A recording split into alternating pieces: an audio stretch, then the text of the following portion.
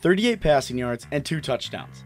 Those are the numbers that Ohio quarterback Tyler Tettleton needs against Akron in the MAC opener to move up in two all time MAC passing categories. For most, this would be an exciting feat, but for the accomplished Bobcat captain, it's nothing new.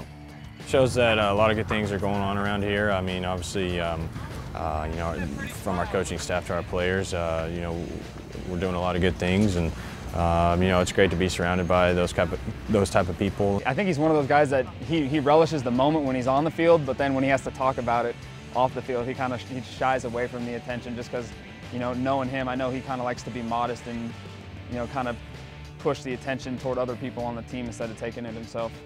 If Tettleton, who is the owner of 23 Ohio football records, does surpass those numbers against Akron, he'll move to 25th in all-time passing yards in the MAC and 22nd in passing touchdowns and barring an injury, he'll keep moving up these lists throughout the course of the season.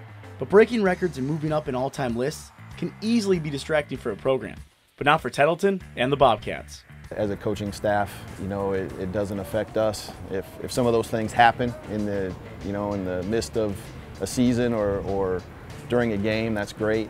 But as coaches and I think as players, you know, guys aren't really focused on those type of things. One of those 23 Bobcat records that Tettleton holds is all time passing touchdowns, and he collected his 50th against Austin Peay in the fourth week of the season. But if you would have asked him during the game what he just accomplished, the selfless quarterback probably would have given you a blank stare. I, I had no idea. I, I, found out after the game, and um, you know, I, I forgot who told me, but um, you know, in, in those type of type of moments, you know, you you just uh, you know just trying to play to, to win the game.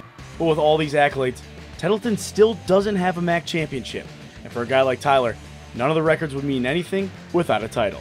They wouldn't, and that's that's uh, the one thing I've been trying to achieve uh, ever since I, I, stepped on campus here, and um, you know whether I started or not, um, was to help this uh, program win a MAC championship. For him to be the one that leads us to that, I think he would much rather have a team goal, something so big as a team to be reached like that, than maybe him breaking you know two or three more records.